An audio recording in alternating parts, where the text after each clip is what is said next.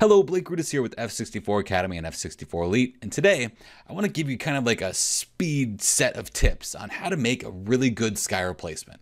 So essentially what we're going to do is we're going to take this image of the Seattle skyline that really needed better clouds. And those clouds were there that night, just not where I wanted them to be. So I put them there and it's going to look a little something like this. So I'm going to teach you how to go from this to this in a matter of minutes.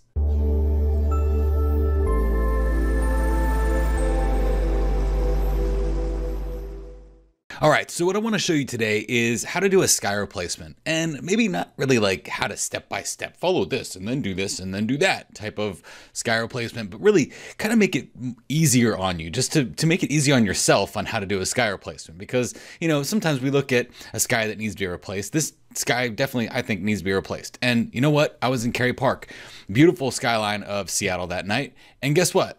The clouds weren't behind the skyline if you actually look over here towards the right of, I guess, the all this pier stuff and maintenance construction cranes things.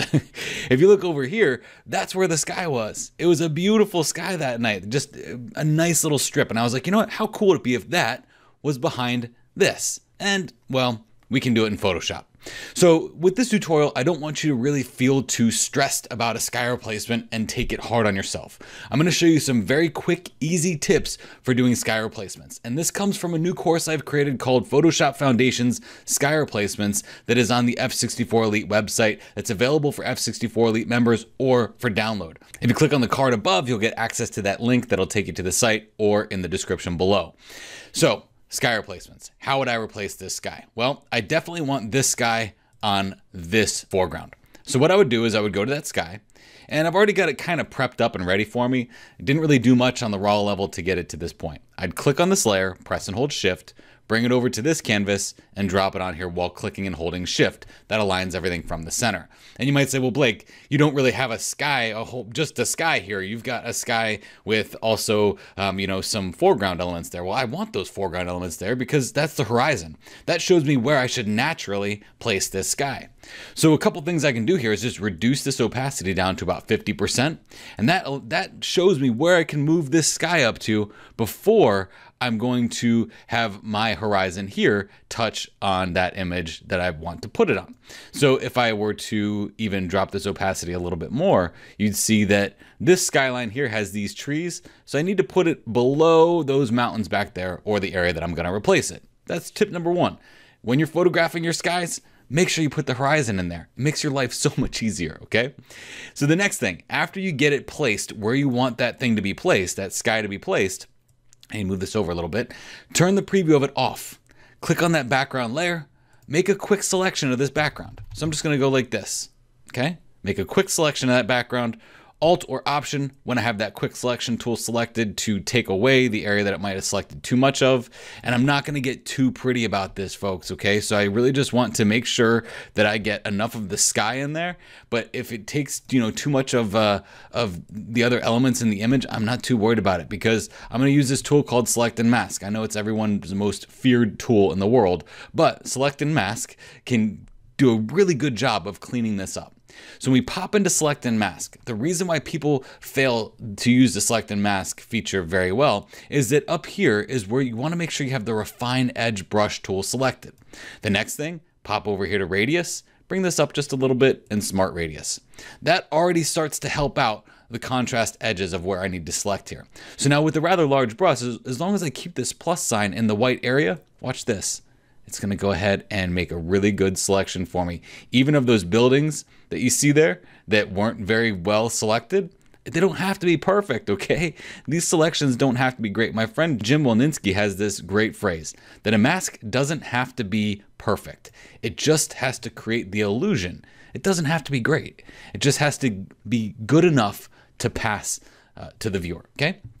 So then we'll take, when, with this, we have a, basically a contrast on this mask. And that contrast uh, that we see there that goes from black to white is going to affect how our sky replacement is going to work. So if I want to get rid of that contrast, if I click this button over here and move the contrast over, watch that.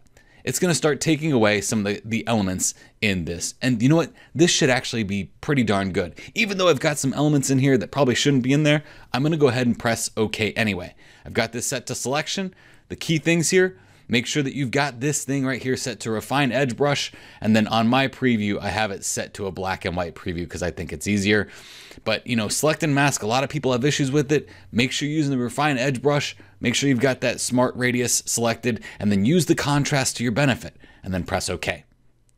Again, the mask doesn't have to be perfect. So now that I've got an idea of this mask, I'm going to click the preview of this uh, sky that I want to replace, turn that back on, click on the layer, and then build the mask.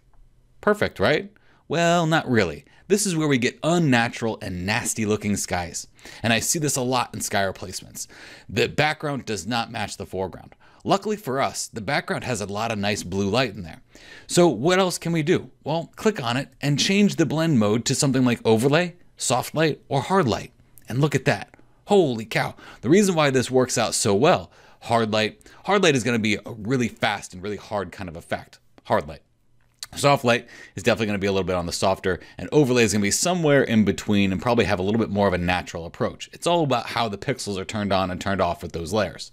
I'm going to choose hard light, but I'm going to drop this opacity down a little bit, okay?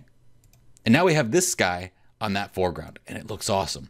But okay, we made our mask and we're afraid because we made a perfect mask. Oh man, well, this mask is so great, but it doesn't look natural yet. Well, it's okay. You can still come over here to something like the uh, graduated filter and have that graduated filter go from black transitioning into transparent.